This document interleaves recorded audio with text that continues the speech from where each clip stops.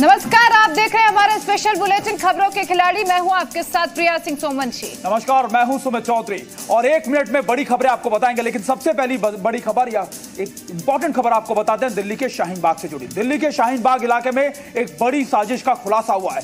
Narcotics विभाग ने छापेमारी में यहाँ 400 करोड़ की ड्रग्स की खेप को बरामद किया। क्या है पूरी खबर? देखिए एक मिनट में। पचास किलो हेरोइन सैतालीस किलो संदिग्ध पदार्थ, तीस लाख रुपए कैश, नोट गिनने की मशीन। ये तस्वीरें दिल्ली के शाहीन बाग की हैं। यहाँ एक घर से ड्रग्स की ये खेप मिली है। इस ड्रग्स का कनेक्शन अफ़गानिस्तान से लेकर तालिबान तक है। दिल्ली एनसीबी की टीम ने इस मकान में छापेमारी की तो मौके से करीब 400 करोड़ की ड्रग्स का जखीरा मिला।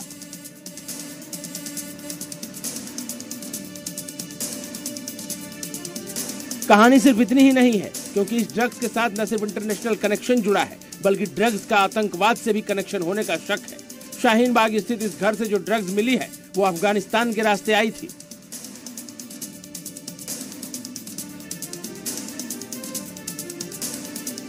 ड्रग्स की इस खेप को समुद्री रास्ते और बॉर्डर के ज़रिए लाया गया। इसके पीछे इंडो अफगान सिंडिकेट का हाथ है। इस ड्रग्स को पंजाब यूपी दिल्ली और हरियाणा में सप्लाई किया जाता था। इन राज्यों में की गई छापेमारी से इंटरनेशनल सिंडिकेट लिंक का पता चला है।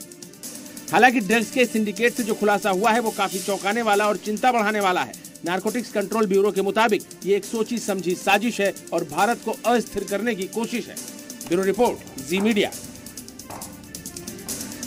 Delhi में ड्रग्स की इतनी बड़ी खेप का इंटरनेशनल कनेक्शन भी सामने आया। एनसीबी चीफ एसएस प्रधान ने ड्रग्स और आतंकवाद का कनेक्शन होने की बात भी कही है। एक मिनट में आप ये पूरे रिपोर्ट देखिए। दिल्ली का शाहीन बाग एक बार फिर से विवादों में है। इस बार चर्चा की वजह है 400 करोड़ की ड्रग्स की ये खेप, जिसका कनेक्शन अफ़गानिस्तान से लेकर तालिबान तक है। देश की राजधानी दिल्ली में ड्रग्स की इतनी बड़ी खेप मिलने के बाद अधिकारी सख्ते में है। इस ड्रग्स नेटवर्क को इंडो अफगान ड्रग्स सिंडिकेट बताया जा रहा है। जिसमें अफ़गानिस्तान, पाकिस्तान और भारतीय मूल के लोग शामिल हैं। एक भारतीय की गिरफ्तारी भी हुई है। दिल्ली में 400 करोड़ रुपए की हेरोइन और अन्य ड्रग्स बरामद हुए। इस समय हम मौजूद हैं उसी घर में, जहाँ पर एनसीबी को एक बड़ी कामयाबी हासिल हुई। एनसीबी ने ड्रग तस्करी के एक बड़े सिंडिकेट का पर्दाफाश किया, जिसमें अफगान, पाकिस्तान और भारतीय मूल के लोग शामिल हैं। NCB chief S N Pradhan ने संकेत दिए हैं कि इस ड्रग्स नेटवर्क का नार्को टेरर कनेक्शन हो सकता है। जो लिंक्स उभर कर आ रहे हैं वो तार Pakistan Afghanistan Middle East Dubai और देशों से जुड़ रहे हैं और ऐसे इस दिशा में है जो कहा जा सकता है कि इसको नार्को टेरर से भी लिंक्ड होने की पूरी संभावना है। शाहीन बाग में ड्रग्स की एक खेप की बरामदगी के साथ कई बड़े खुलासे भी हुए हैं। एनसीबी के मुताबिक अफ़गानिस्तान से ड्रग्स को समुद्र और बॉर्डर के रास्ते लाया गया। ड्रग्स को अलग अलग सामान में छिपा कर लाया जाता था, फिर दिल्ली में उसे अलग किया जाता था। किसी को कुछ शक न हो, इसलिए फ्लिपकार्ट के रैपर में ड्रग्स को पैक कर दिल्ली लाया जाता था। ये हीरोइन अफ़गानिस्तान से आई हुई है और जो कैश हमें बरामद हुआ है, वो हवाला चैनल से आया हुआ प्रतीत हो रहा है। जो हीरोइन स्वपक नियंत्रण ब्यूरो ने जब्त की है वो फ्लिपकार्ट की पैकिंग में पैक थी। ड्रग सिंडिकेट दिल्ली से कंट्रोल हो रहा था और आसपास के राज्यों पंजाब हरियाणा उत्तर प्रदेश तक इसका नेटवर्क फैला हुआ था। ड्रग्स के बहाने शाहीन बाग का जो तालिबान अफ़गानिस्तान कनेक्शन खुला है उससे साफ़ है कि ये मामला बहुत बड़ा है जिसकी गंभीरता से छानबीन की ज़रूरत है। Bureau report Zee media. Delhi के शाहीन बाग में बुलडोजर चलने की आहट भर से अतिक्रमणकारियों में घबराहट फैल गई है। गुरुवार को बुलडोजर एक्शन के डर से अतिक्रमणकारियों ने खुद ही फुटपाथ से अब खाली कर दिए क्या है रिपोर्ट? देखिए एक मिनट में।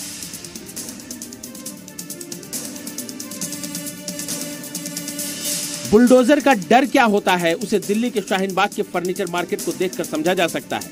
दुकानदारों में अफरा तफरी मची है। फुटपाथ को बपौती मानकर घेरने वाले इन फर्नीचर दुकानदारों के तभी से होश फाकता है, जब से बुलडोजर एक्शन की आहट हुई है। इनके जेहन में डर है कि कहीं ऐसा ना हो एमसीडी आकर बुलडोजर लेकर आ जाए, कार्रवाई करने लगे और हमें हमारा सामान हटाने का भी मौका ना मिले। बाहर तक सामान रहता था, अब उसको उठाकर ये लोग अंदर कर रहे हैं और आप अगर सड़क देखेंगे तो ये 40 फीट की सड़क थी, जब 80 से 100 फीट के में तब्दील हो जाएगी। महँगे sofa, bed, dressing table, dining table, कुर्सी, जितने दुकान के अंदर नहीं, उससे ज़्यादा बाहर फुटपाथ पर रखे हुए थे, जिसे अब हटा लिया गया है। शाहीन बाग दरअसल यूपी बॉर्डर पर है और जिस फुटपाथ पर अतिक्रमण हो रखा था, वो यूपी के सिंचाई विभाग का है। बुलडोजर का डर यूपी और दिल्ली दोनों जगह है, इसलिए खुद अतिक्रमण हटाने में इन्होंने होशियारी समझी। ये अतिक्रमण वैसे तो पहले से भी है, हालाँकि गलत है, लेकिन इसको अभी ठीक किया जा रहा है। नोटिस तो दिया नहीं गया, लेकिन पता चला है कि अभी यहाँ पे कार्रवाई होने वाली है, और उधर शाहीन बाग है ये एरिया, और उधर मदनपुर खादर की तरफ़ भी कार्रवाई हुई होगी। तो इसलिए हम पहले से पहले इसको हटाना चाहते हैं। शाहीन बाग में अतिक्रमण हटाने की तैयारी चल रही है तो कुछ लोग इसे हिंदू मुसलमान का एंगल देने में भी पीछे नहीं है। वो तो एक बिल्डोजर का चल रहा है वो सियासी बिल्डोजर चल रहा। वो एक खास मतलब अल्पसंख्यकों को मान लो सीधा सीधा मुसलमानों को टारगेट कर रहा है। आपको ऐसा क्यों लग रहा है? ऐसा इसीलिए लग रहा है कि जहांगीरपुरी में दंगे हुए दूसरे दिन बिल्डोजर पहुँच गया। जहांगीरपुरी में बुलडोजर एक्शन के बाद साउथ एमसीडी ने दक्षिणी दिल्ली में बुलडोजर तैयार कर रखा है। सर्वे हो रहा है और कहा जा रहा है कि दिल्ली सरकार के संरक्षण में बांग्लादेशियों और रोहिंग्याओं ने जो कॉलोनी बना रखी है, उस पर बुलडोजर चल कर रहेगा। Bureau report, Zee media. और यूपी से इस वक्त की बड़ी खबर जान लीजिए। यूपी के सहारनपुर में बांग्लादेशी छात्र की गिरफ्तारी हुई है। सोर्सेज के हवाले से ये बड़ी खबर आई है। एटीएस ने बांग्लादेशी छात्र को गिरफ़्तार कर लिया, उससे पूछताछ की जा रही है। जहाँ फर्जी दस्तावेजों के आधार पर देवबंद में कर रहा था पढ़ाई और 2015 से देवबंद में रह रहा था ये छात्र? और बताया जा रहा है कि कई संदिग्ध गतिविधियों में सीधे तौर पर शामिल भी था। ये लगातार सूत्रों के हवाले से खबर मिल रही है कि देखिए, किस तरीके से एक बड़ी कामयाबी मिली है या फिर आप ये कह सकते हैं कि देखिए यूपी के सहारनपुर में बांग्लादेशी छात्र को गिरफ़्तार किया गया। एटीएस ने बांग्लादेशी छात्र को गिरफ़्तार किया है।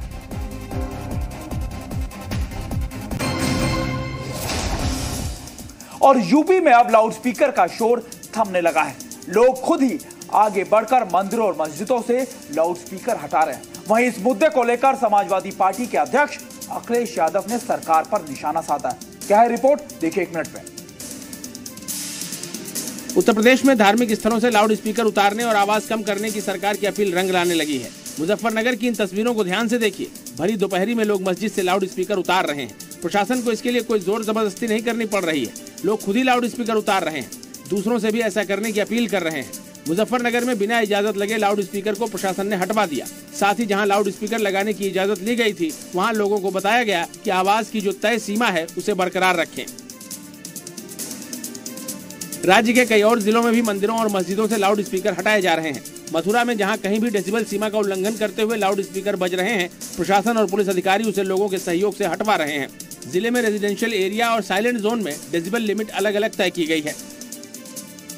वहीं बहराइच में पुलिस की मौजूदगी में धर्मगुरुओं ने सौहार्द की मिसाल पेश की। यहाँ खुद ही धार्मिक स्थलों पर लगे लाउड स्पीकरों को उतारकर धर्मगुरुओं ने अमन चैन का पैगाम दिया। वहीं रायबरेली में भी दोनों समुदाय के लोग लाउड स्पीकर हटाने में पूरा सहयोग कर रहे हैं। ज़िले भर में तकरीबन 300 से ज़्यादा अवैध लाउड स्पीकरों को उतरवा दिया गया। एक और जहाँ योगी सरकार के लाउड स्पीकर हटाने के आदेश को लेकर सूबे में लगातार अभियान चल रहा है, वहीं इस पर सियासत भी गर्मा गई है। समाजवादी पार्टी के अध्यक्ष अखिलेश यादव ने लाउड स्पीकर हटाने के मुद्दे पर निशाना साधते हुए कहा कि इस मामले में कोर्ट के आदेश को क्यों नहीं लागू किया जा रहा? लाउड स्पीकर पर अजान और हनुमान चालीसा के पाठ के विवाद को यूपी के सीएम योगी ने जिस अंदाज में संभाला है, उसकी तारीफ़ हर जगह हो रही है। अखिलेश इसी से बेचैन हो गए हैं और बेचैनी में सही काम पर भी सवाल उठा रहे हैं। Bureau report, Zee media. Ayodhya में माहौल बिगाड़ने की बड़ी साजिश नाकाम हो गई है। मस्जिदों के बाहर फेंके गए आपत्तिजनक कागज़ और मांस के मामलों में पुलिस ने अब तक सात आरोपियों को गिरफ़्तार कर लिया और इन पर सीएम योगी आदित्यनाथ ने एनएसए लगाने के आदेश दिए और कड़ी कार्रवाई के आदेश हैं। एक मिनट में आप ये पूरी रिपोर्ट देखिए। देश की राजधानी दिल्ली के जहांगीरपुरी के बाद धर्मनगरी अयोध्या में भी दंगे की साजिश रची गई। अराजक तत्वों ने अमन चैन खराब करने की कोशिश की, लेकिन इनके नापाक मंसूबों पर पानी फिर गया। दरअसल, कुछ शरारती तत्वों ने जालीदार टोपी लगाकर आपत्तिजनक पर्चे और मांस के टुकड़े धार्मिक स्थलों पर फेंके। हालाँकि, समय रहते पुलिस ने सात आरोपियों को दबोच लिया। अब इन आरोपियों पर एनएसए लगाने की तैयारी है। देखिए, इसमें इनको गिरफ़्तार करके जेल भेजा जा रहा है। इसके अलावा गैंगस्टर, एनएसए इत्यादि की जो कार्रवाई है इनके विरुद्ध सुनिश्चित की जाएगी। इनको हम लोग स्पीडी ट्रायल करा के जल्द से जल्द सजा दिलाने का भी प्रयास करेंगे। घटना की जानकारी मिलते ही पुलिस और प्रशासन की टीम फ़ौरन हरकत में आई और आसपास के सीसीटीवी कैमरों को खंगाला गया, जिससे कि इस तरह की हरकत करने वाले अराजक तत्वों की पहचान हो सके। मामले को लेकर जब सीसीटीवी खंगाले गए तो चार मोटरसाइकिल पर सवार ग्यारह लोग दिखाई दिए। जिसमें एक आदमी मोटरसाइकिल से उतरकर विवादित सामग्री फेंकता हुआ दिखाई दिया इन लोगों ने अपनी पहचान छुपाने के लिए सिर पर मुस्लिम टोपी लगाई हुई थी और मोटरसाइकिल की नंबर प्लेट भी बंधी हुई थी गिरफ़्तार हुए लोगों में महेश कुमार मिश्रा को मास्टरमाइंड बताया जा रहा है, जो खुद एक संगठन चलाता है और उसके खिलाफ पहले भी मुकदमे दर्ज हैं। इसके अलावा प्रत्युष श्रीवास्तव, नितिन कुमार, दीपक कुमार गौड़, ब्रजेश पांडे, शत्रुघ्न प्रजापति और विमल पांडे को पकड़ा गया है। पुलिस की माने तो इस घटना को दिल्ली में हनुमान जयंती के दिन हुई घटना का बदला लेने की नीयत से अंजाम दिया गया था। इन लोगों का इरादा आने वाली ईद को लेकर अयोध्या में बड़ा बवाल करने का था, लेकिन समय रहते इस साजिश का पर्दाफाश हो गया और धर्म नगरी में बड़ा अधर्म होने से टल गया। Bureau report, Zee media. Jahangirpuri हिंसा में एक और आरोपी को पुलिस ने पश्चिम बंगाल से गिरफ़्तार किया है। फरीद नाम का यह आरोपी दंगों के बाद फरार हो गया था। फरीद जहांगीरपुरी इलाके का हिस्ट्री शीटर भी है। और अब ये क्या है पूरी खबर? देखिए एक मिनट में। दिल्ली के जहांगीरपुरी इलाके में हुई सांप्रदायिक हिंसा के मुख्य आरोपियों में से एक को दिल्ली पुलिस की क्राइम ब्रांच ने पश्चिम बंगाल से गिरफ़्तार किया है। आरोपी का नाम फरीद है और आरोप है कि इसने दंगे में अहम भूमिका निभाई थी। फरीद की गिरफ्तारी के लिए पश्चिम बंगाल में कई टीमें तैनात की गई थी। गुरुवार को उसे पूर्वी मेदिनीपुर के तामलुक गाँव से गिरफ़्तार कर लिया गया। पुलिस के मुताबिक फरीद दंगों के बाद मौके से फरार हो गया था और तब से लगातार अपना ठिकाना बदल रहा था। आरोपी पश्चिम बंगाल में एक जगह से दूसरी जगह घूम रहा था। फरीद के खिलाफ 2010 से लूटपाट, छिरेती, चोरी और शस्त्र कानून के तहत कई मामले दर्ज हैं और वो जहांगीरपुरी इलाके का हिस्ट्री शीटर है। जहांगीरपुरी इलाके में हनुमान जयंती पर निकाली गई शोभा यात्रा के दौरान दो समुदायों में झड़प हुई थी, जिसमें जमकर पत्थरबाजी और आगजनी हुई थी। Bureau report Zee media. हिंसा को लेकर आरएसएस प्रमुख मोहन भागवत का बड़ा बयान सामने आया। भागवत ने कहा कि अशांति और हिंसा फैलाने वालों के दिन अब लग चुके हैं। हिंसा प्रिय समाज अब अपने अंतिम समय गिनने की तैयारी कर रहा है। एक मिनट में पूरी रिपोर्ट देखिए। दंगाइयों पर चल रहा बुलडोजर। हिंसा प्रेमियों पर चल रहा बुलडोजर।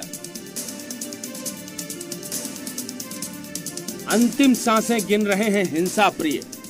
देश के आधा दर्जन राज्यों में रामनवमी और हनुमान जयंती के मौके पर हुई हिंसा पर सरकारें सख्त हैं। दंगाइयों को सबक सिखाने के लिए कड़ा एक्शन, बुलडोजर एक्शन लिया जा रहा है।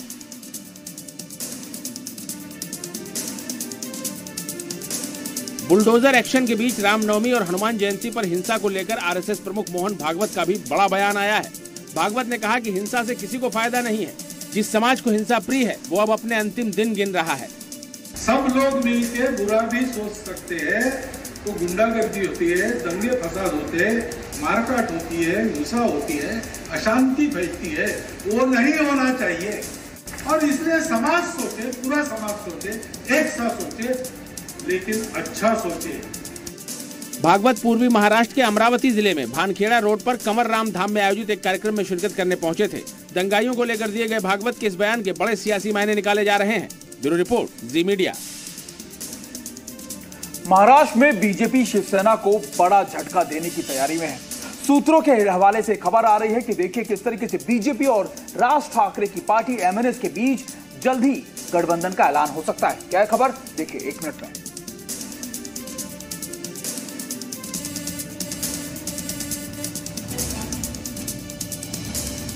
लाउड स्पीकर के मुद्दे पर बीजेपी और एमएनएस के बीच नजदीकियाँ बढ़ रही हैं। ये महज इत्तेफाक नहीं है, बल्कि ये हकीकत है। बीजेपी शिवसेना समेत महाअघाड़ी को चौंकाने के लिए तैयार है। सूत्रों के मुताबिक बीजेपी राज ठाकरे की पार्टी महाराष्ट्र नवनिर्माण सेना के साथ गठबंधन करने की तैयारी में है। इसके लिए आरएसएस की तरफ़ से हरी झंडी भी मिल गई है। सूत्रों के मुताबिक बीएमसी चुनाव से पहले इसका ऐलान किया जा सकता है। हालाँकि बीजेपी और एमएनएस के बीच गठबंधन का ऐलान अयोध्या दौरे के बाद हो सकता है, क्योंकि पाँच जून को राज ठाकरे अयोध्या जाएँगे। वहाँ रामलला के दर्शन करेंगे। इसके बाद 6 जून को लखनऊ में सीएम योगी से मुलाकात करेंगे, जिसके बाद 14 जून को औपचारिक रूप से गठबंधन का ऐलान हो सकता है। लाउड स्पीकर के मुद्दे पर जिस तरह से राज ठाकरे ने सीएम योगी की तारीफ़ की है, और शिवसेना अध्यक्ष उद्धव ठाकरे को आड़े हाथों लिया है ये इशारा कर रहा है कि जल्दी राज ठाकरे एनडीए के नए सहयोगी बन सकते हैं। ब्यूरो रिपोर्ट निर्दलीय सांसद नवनीत राणा और उनके पति रवि राणा की जमानत पर आज सुनवाई होनी है। मातोश्री के बाहर हनुमान चालीसा का पाठ करने को लेकर पुलिस ने दोनों के खिलाफ केस दर्ज किया था और दोनों पर राजद्रोह का भी आरोप लगा है। आज सुनवाई होनी, आज बेहद इंपॉर्टेंट दिन है दोनों के लिए। रिपोर्ट देखिए। महाराष्ट्र के अमरावती से सांसद नवनीत राणा और उनके पति रवि राणा के लिए आज का दिन बेहद अहम है। मुंबई सेशंस कोर्ट में दोनों की जमानत याचिका पर आज सुनवाई होनी है। इससे पहले राणा दंपति ने सेशंस कोर्ट में नई जमानत याचिका दाखिल की थी और कहा था कि हनुमान चालीसा पाठ का ऐलान भड़काऊ नहीं माना जा सकता। राजद्रोह की धारा लगाए जाने पर राणा दंपति ने याचिका में कहा है कि उन्होंने कोई वैसा कदम नहीं उठाया जिससे ये इल्ज़ाम लगे। वहीं नवनीत और रवि राणा ने कोर्ट में याचिका दायर कर उन्हें जेल में घर का खाना देने की इजाज़त मांगी है, जिस पर फैसला जमानत याचिका की सुनवाई के बाद होने की उम्मीद है। इससे पहले 26 अप्रैल को नवनीत राणा और उनके पति रवि राणा को सेशंस कोर्ट ने 6 मई तक न्यायिक हिरासत में भेज दिया था। पहली एफआईआर को रद्द करने की मांग को लेकर नवनीत और रवि राणा की तरफ़ से दायर याचिका पर सुनवाई के बाद कोर्ट ने अगली सुनवाई 29 अप्रैल तय की थी। गौरतलब है कि राणा दंपति ने महाराष्ट्र के सीएम उद्धव ठाकरे के मातोश्री आवास के बाहर हनुमान चालीसा का पाठ करने की बात कही थी। इसी के बाद मुंबई पुलिस ने उनके खिलाफ केस दर्ज किया था और बाद में राजद्रोह की भी धारा लगा दी गई थी। Bureau report, Zee media. मदरसों पे सीएम योगी की सख्ती का असर दिखने लगा है और दारुल उमल देवबंद में दाखिले के नियमों में सख्त कर दिया गया है। अब ज़रूरी दस्तावेजों के बिना छात्रों को दाखिला नहीं मिलेगा। क्या है रिपोर्ट, देखिए एक मिनट में।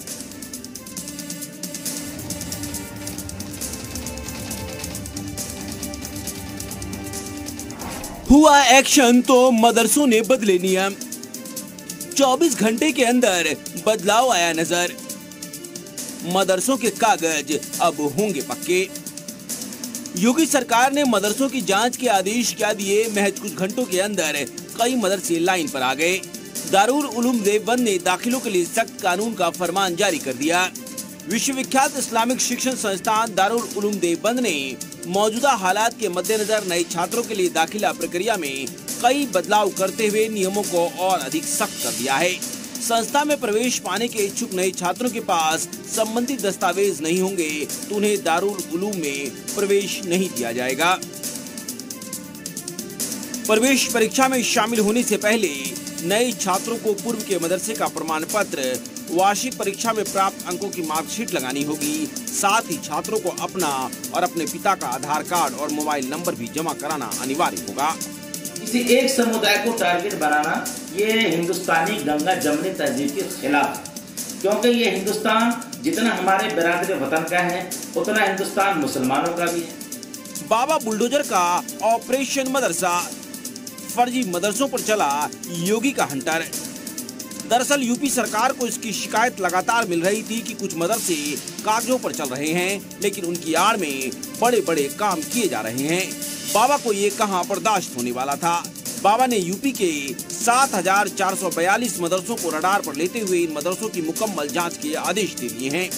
योगी सरकार के इस आदेश से फर्जी मदरसा चलाने वालों के होश फाख्ता हो चुके हैं और कुछ मदरसे तो कुछ घंटे के भीतर ही लाइन पर आ चुके हैं जबकि आने वाले दिनों में कुछ और मदरसों पर गाज गिरने वाली है। Bureau report Zee media. और उसी के साथ फ़िलहाल वक्त एक छोटे से ब्रेक का हो चला है। देखते रहिए हिंदुस्तान